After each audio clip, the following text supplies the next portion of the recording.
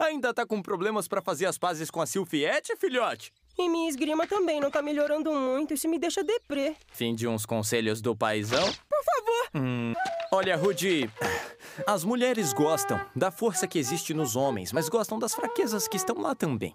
Beleza, eu entendi, mas como? Ah, filhote, é só você esclarecer todas as suas preocupações pra Silfiette. Deixa ela ver como você tá triste dela tá te evitando.